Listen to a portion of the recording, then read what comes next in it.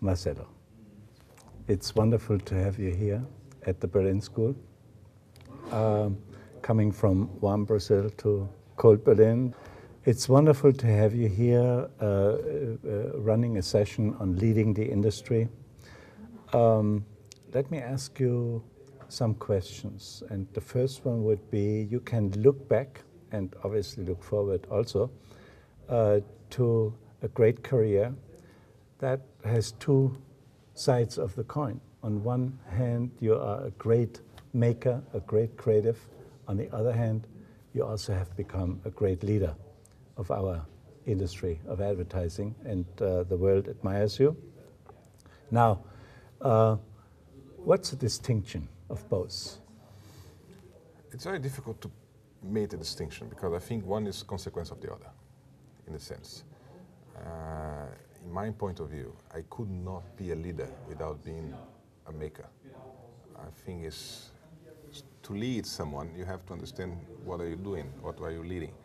I always think the great, the best general has to be a good soldier in the beginning, has to have been. So I, I always try to focus myself on doing. If I'm not doing, I'm helping someone do it the way I used to do it. So I think it's very important to be a maker. I'm a maker. I'm a cook. I always see myself as a cook and not as a restaurant uh, manager. So restaurant manager is a consequence of my good cooking. And I, I hope when I'm 80, I will still feel myself as a cook and not as a manager.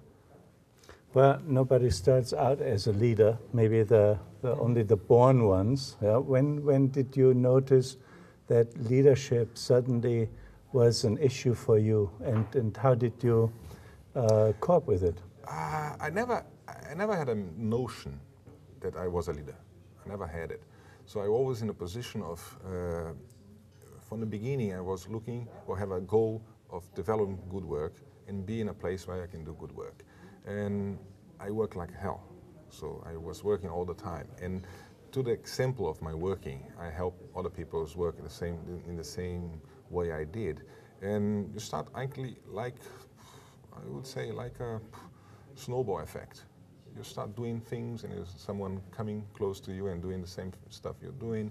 And then suddenly you are teaching people how to do it. And then and I never became a creative director actually in the sense before I joined my own agency. I was only creative director in my own agency. So before I was just art director but with a great influence among the other guys. So I never had the official state status of I am a creative director of an agency I was never looking for that. So I was always looking for how to develop the best work possible. And I always want some kind of freedom and start my own agency. So the moment I joined BBDO, I was automatically creative director. But I never had, but I, I jumped from art director to owner of my own agency and then creative director. Yeah, yeah. So I never had a distinction of I'm a creative director of a big international agency or a Brazilian agency. So I never looked for to become a creative director. I looked so for to have my own place. Are you saying everything fell into place yes. as you were challenged? Yeah. But were there also struggles? Uh, suddenly you had your own agency. I mean, you uh, established your agency in a developing market. For me, as a young guy, I always had a dream of having my place. And when you have a dream like this, you have to be able to, to fulfill that dream. So I always, I could sell my stuff very easily because I have a very good connection to the clients. I could actually, I, I knew how to sell it. I knew how to communicate to the client and around the, my colleagues and so on. This is stuff I like because it is and this and this and this. I was very rational on explaining the way I came to the work and to sell it. So it was quite, quite easy. And then since I always had a dream of having my place, and of course there is some, when you are very young, you are blind to the difficulties. You don't see the difficulties. You just go ahead and you don't look around.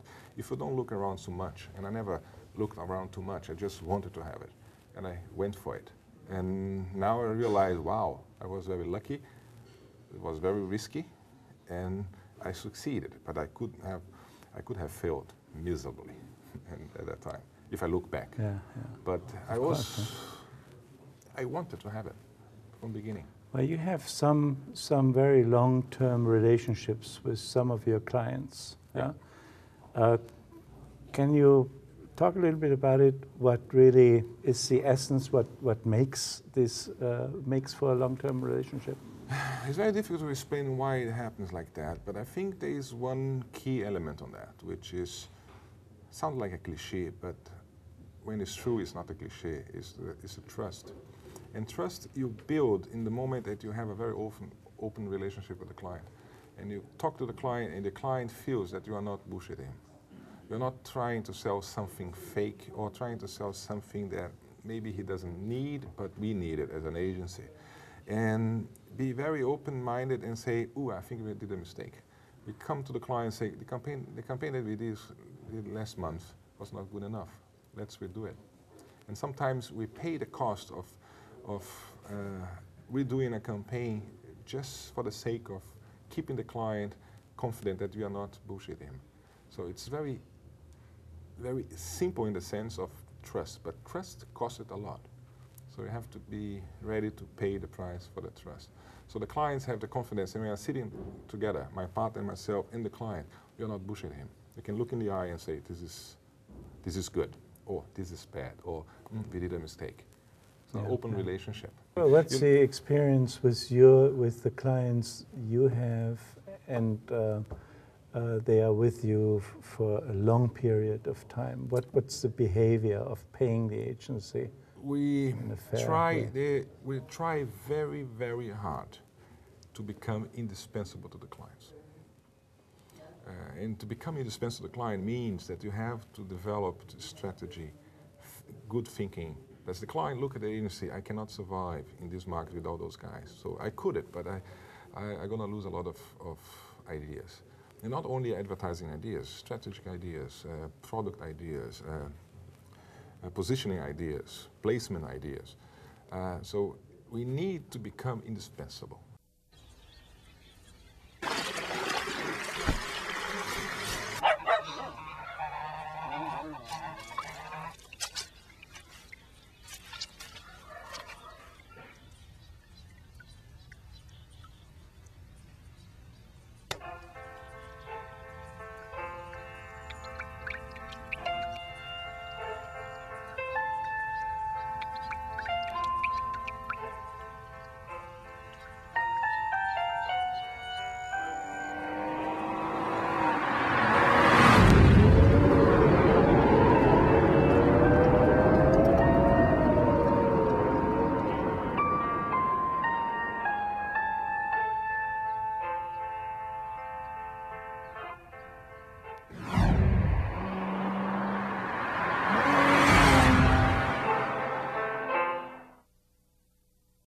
Everybody should look at your Havaiana case. Yeah, Exactly. I think. a- yeah, I mean here you have. A, yeah, I mean a kind of sandal. Yeah. With some sandal. plastic and you, you walk to the beach, but what you've done with it, and I think the agency and particularly you yeah, have done a lot to shape the vision, the future, and uh, this global cult that has been produced. Yeah.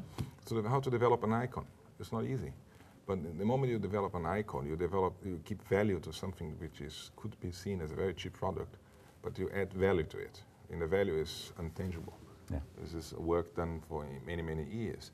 If the client is changing agency all the time, he would never be in a position of doing something like this, because it's, it's a matter of talent. It's a matter of uh, talent, focus on, and consistency the consistency of doing good work for a certain amount for a certain client and is doing like this for years and and the agency themselves they are i think they are selling their product very cheap very very Well, cheap you know, I mean, my experience is wherever you have an agency with a strong creative leader, yeah it's a different ball game.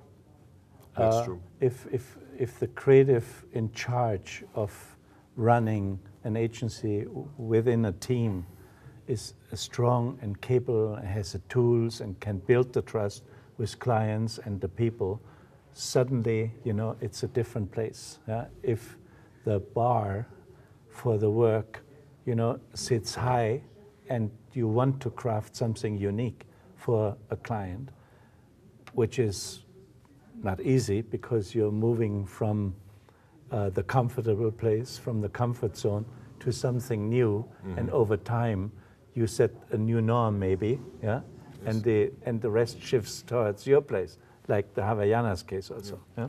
This is true, but I think what is lacking in the business is the ability of say no. The ability to say no. Uh, the clients have the ability to say no. They say more no than yes all the time, but the agency are saying more yes than no all the time, which is bad for the business because you have, uh, for account reasons, for financial reasons, you sit in front of a client, you're not in position of saying no. And you see a lot of managers in the agency, I cannot say no because I'm going to lose this so much amount of money and we need it for our revenue and for my bonus, for the bonus of the, all the, uh, the workers and so on. Yeah. So it's the ability of saying no. In the, in the past, you remember uh, personalities like Jay Chiat, you could tell, you can, Allen Rosenshines, or you can tell a lot of names in, in, in the industry. Uh, they have such a strong personality. The moment they walk in the room, they impose themselves, and they are, were able to say no with a very gentle, gentle way. But the client would understand, okay, maybe I, we should change. Now I see the power has shifted from from the agency. The personality from the agency is more, would say, mm, homogeneous. There's no yeah. big personalities. More to say no, yes, no, yes. Or, yeah, because it has become a money-directed money business. Yeah, yeah, it's a money issue. Yeah, and, and actually great work produces better money, yeah, but yes. it seems that nobody gets the balance. Yeah. Now, um, the, uh, the, the big, one of the big dynamics in, in the business is obviously the digitalization, yeah, that uh, uh, you are famous for great print work, for great TV commercials. But recently, I have seen some wonderful work coming from you uh, in the interactive uh, uh, uh, field. Was it a struggle for you to get into it? Yeah, it was a little bit. I, we, we chose a different path than the average agency. Uh, during the bubble, everybody started a company, internet company. Mm. And exactly that time, we started in the agency a small group of people working together with a creative department as internet. And I remember uh, lots of clients and a lot of people inside the agencies want us to develop a new agency.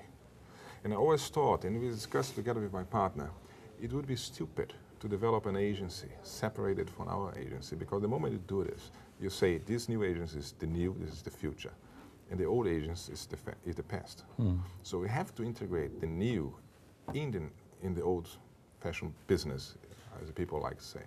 So the advertising agency, they were uh, condemning themselves to become dinosaurs in the moment they start something new. Yeah. They shouldn't start something new. They should integrate the new from the sure. beginning. Yeah. So, and remember in this discussion in a board meeting we had, and everybody was saying about building different agencies, network, and so on. It's like we should put everything together. Because the moment you see it together, the agent is not doesn't become old-fashioned. So we always had inside the agency this department. Now, in the last year, we put the whole internet creative team together with the creative team of offline. So everybody sitting together in the mm -hmm. same place. We have a creative director for internet and creative director for offline, but they all sit in 10 meters range mm -hmm. from each other. So every single uh, piece of work is developed together. So the strategy is developed together. So sometimes we become agents of, Internet Agents of the Year last year in Brazil for the first time. Uh, always was uh, internet small agencies that became agents of the year for six years in a row, and then suddenly AlmapBBDO became agents of the year for internet. Everybody, oh, something's, and it has to pay off. So we are, at the same time, old and new. So. Well, I mean, talking about agency of the year, you have been twice in Donald Gunn's uh, uh, uh, in the in the in the Gunn report um, been agency of the single agency of the year in the whole world. Huh? Uh, you uh, have uncountable awards from award shows and uh, uh, numerous Cannes. You you have been very present uh, in in the industry, running the Cannes juries and and so forth. Um, well, what, what's next? What's next for you, for your agency? for the ages, I hope it's going to keep the same. If I, if I keep the agency in the, in, in the way it is now and capable of being good enough for the future that's coming, uh, I think is a good is a big task already. Personally, I have no idea. I have to find it out. So everybody asks me, "You have done everything you could have wanted. What else do you want?" I want to keep happy. If I can still keep happy, I can do the business for a couple of years more.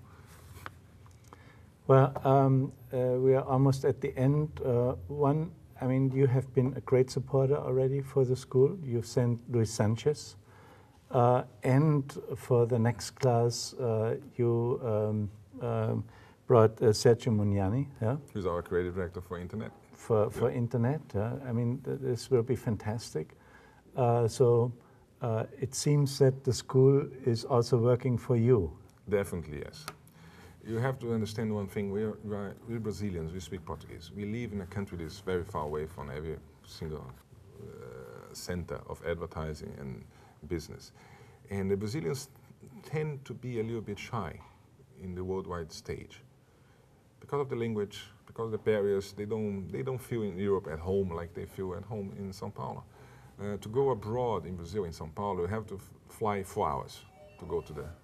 In, in Germany, you Yeah, you walk yeah, yeah. over the over the, uh, to the next country. So, I think it's very important for young Brazilian creative people that go and have the sense of what's happening in the world and develop a sense of um, of leadership. So, how can I lead in a different language, in a different culture, and open their minds for to become more international, to become more universal thinkers, and not only very good Brazilian thinkers, Yeah, which yeah. are everybody is very proud to be a Brazilian thinker. But as a Brazilian thinker, you have a narrow uh, way to go. So Yeah, yeah, open their horizons, horizons, and, right. and be more. Thanks to all those that on a voluntary basis came here and are working on that concept, including you. And I'm really looking forward to have you this afternoon in the class, uh, working with the gonna be fun. participants. It's going to be fun.